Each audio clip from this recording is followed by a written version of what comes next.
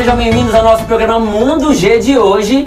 Que delícia! E tem mais convidados que vão participar desse programa conosco. Hoje a Churras Brugivente vai receber aqui com muito carinho o nosso querido Lucian Ambros, lá do canal Positividades, é isso mesmo? Isso do mesmo. projeto Positividades. Tem também a nossa querida Gaia Ogre, que vai participar da terceira temporada do Vida de Drags. Tudo bem? Seja bem-vinda aqui no nosso programa. Obrigada. E tem uma participação muito especial do nosso querido Sérgio Luiz Vieira. Seja bem-vindo ao programa Muito G.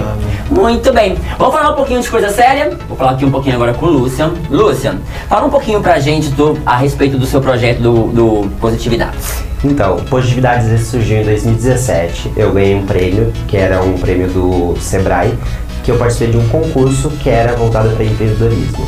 Eu criei a primeira loja, a primeira rede social voltada para HIV do Brasil. Eu lancei em 2017, ela ficou seis meses no ar. Ah, teve 10 mil usuários em 60 países e em decorrência de não conseguir patrocínio ou verba para manter o projeto, ele acabou saindo fora do ar. E esse ano, há uma semana atrás exatamente, a gente lançou a primeira loja voltada para visibilidade, prevenção e informação sobre HIV do mundo, trazendo produtos ligados ao HIV. Essa aqui é uma das camisetas que a gente vende lá Eu vou querer uma loja. dessa, hein? Vou querer uma, hein? Olha, olha. Essa é uma, uma das camisetas. Essa camiseta que muitas pessoas não conhecem sobre HIV.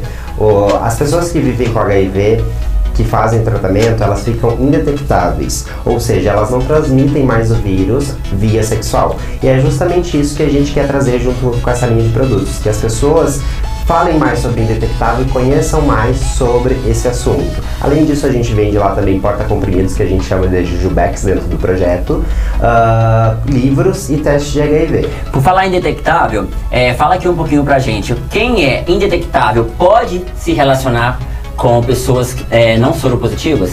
Pode, claro que pode. Ah, a questão é sempre estar na prevenção, né? O indetectável, ele também é um método de prevenção. Não quer dizer que você pode sair transando com todo mundo sem camisinha. Você tem que conhecer o status da pessoa, saber se ela está mais de seis meses indetectável, para aí sim ter a certeza que ela não vai transmitir via, ah, via sexual. Porém, isso não quer dizer que a pessoa não tem que usar camisinha. Tem que usar sim, sempre camisinha, para evitar ISTs como gonorreia, sífilis, entre outros, né? Daqui a pouco a gente fala mais um pouquinho com ele. Ô Gaia, você tá entrando agora na nova, na nova temporada do Vida de Drag.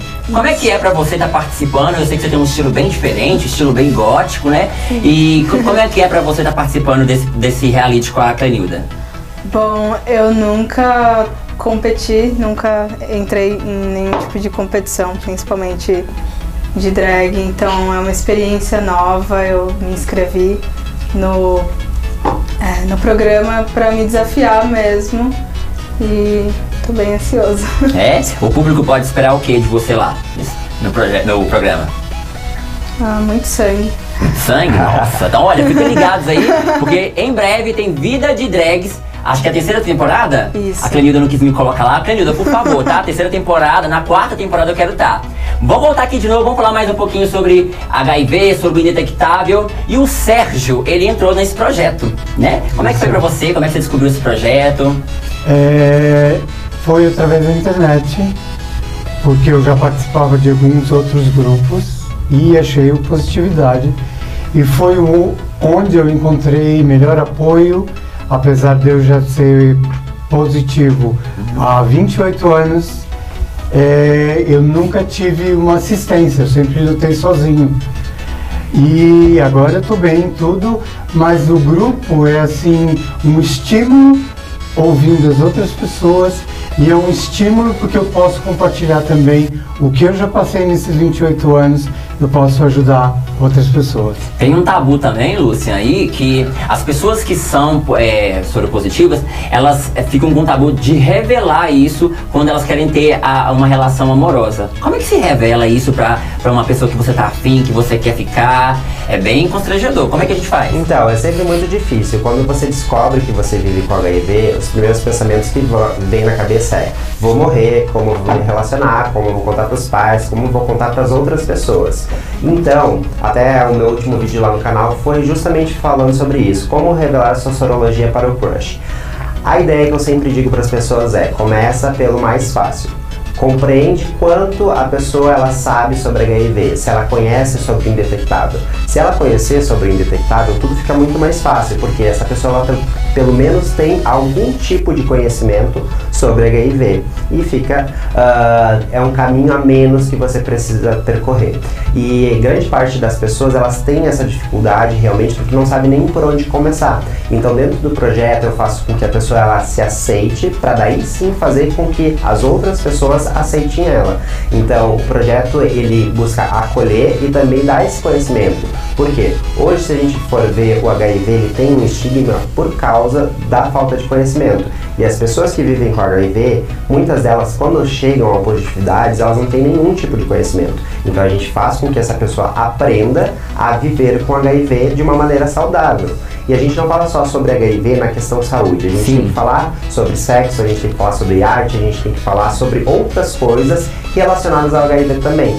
Porque hoje, se a gente for procurar na internet sobre HIV, já tem um conteúdo melhor. Porém, é, até três anos atrás, você só via Cazuza, uma pessoa moribunda, uma pessoa com, tomando 18 comprimidos. Tanto é que a gente mudou o nome da, da medicação dentro do projeto. Uh, a gente tirou o termo coquetel e a gente usa o termo jujubas. porque A gente quer que as pessoas que vêm até o projeto, elas sintam a questão do tratamento como uma coisa leve, não como uma coisa pesada que existia 10 anos atrás. É, é importante então dizer para todo mundo que a prevenção é a alma do negócio. Pre... Na verdade, eu digo assim: a informação é o melhor método de prevenção. Se você conhecer sobre HIV e STs, com certeza você não vai se infectar e você vai saber como, qual o melhor método para poder se prevenir. Muito bem. A Gaia é um menino trans, isso? Uhum. E você sabe agora, Gaia, que a Globo agora tá abrindo oportunidades e tem uma, uma trans lá que tá fazendo o maior sucesso na novela, né? A Britney. Como é que você acha? Que, como é que, na sua visão, é, essa oportunidade que a Globo está dando para o mercado trans. Como é que você vê isso? Ah, eu acho que assim, é uma coisa bem positiva, porque eu lembro uh, na novela, em alguma novela passada que tinha um, um homem trans. É, isso foi muito criticado assim pela comunidade, mas assim, a minha mãe, ela passou a entender um pouco melhor do que eu passava. É, através desse personagem que, que foi interpretado, porque muitas vezes, é, sei lá, ela tinha, tinha dúvidas e não queria me perguntar, ou então eu não me sentia confortável trazendo para ela, e aí com, com esse personagem é, uma exposição tão grande, ela conseguiu entender uh, melhor. Então eu acho que é uma coisa super positiva. Super positiva, né? E é importante, gente, é, esse mercado está sendo aberto para parar né, com esse tabu que trans é só coisas ruins. Não é. Elas também têm direito e elas fazem muitas coisas boas. É, vamos falar um pouquinho aqui com o Sérgio.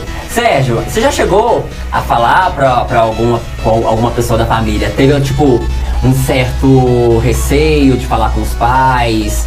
que você era soropositiva? Como é que foi revelar, vamos dizer assim, para a família? Para mim foi muito gozado. Quando eu soube que eu estava com HIV, eu não tive reação nenhuma, nem depressão, nem nada.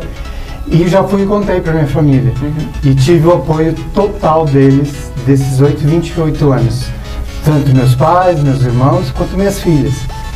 Então, para mim não, não foi problema. Eu tive depressão por outros problemas mas não por ter compartilhado alguém. Agora, com outras pessoas, eu sempre fui mais reservado, porque o aceite de outras pessoas, a recusão é maior.